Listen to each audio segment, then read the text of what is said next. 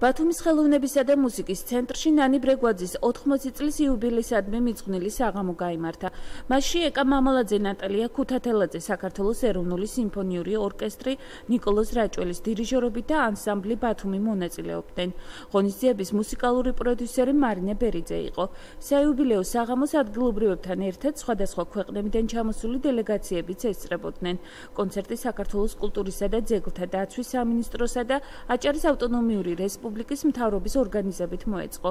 ნანი ბრეგვაძის საიუბილეო წლის აღნიშვნა ბათუმიდან დაიწყო და კონცერტები საქართველოს სხვადასხვა ქალაქსა და მსოფლიოს იმ ქვეყნებში გამართება, სადაც ქართული სცენის დედოფალს უმღერია. ბათუმის ლაპარაკი როგორ შეიძლება? ეს არის მუსიკის ქვეყანა, არაჩვეულებრივი და უნიჭიერესი ხალხი ბადება მომღერლები და მერტლა ეს ჩემი ნაწილიც მაყურებელი კმაყოფილია ეს ეს მინდა მე მეკითხები.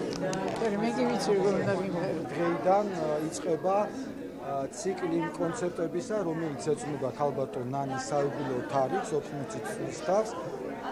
ეს სულ დაჯგას 80 თვითონაც 80 ცალკეა და მე ცალკეო. 17 დეკემბერს თბილისში იქნება კონცერტი, იქნება სოფლიოს რამოდენიმე ქვეყანაში, დასაკვირველია იქნება იმ ჩვენს მეზობელ აზერბაიჯანში, სომხეთში, ყველა იმ ქალაქში, რომელიც ნანისთვის არის ძვირფასი.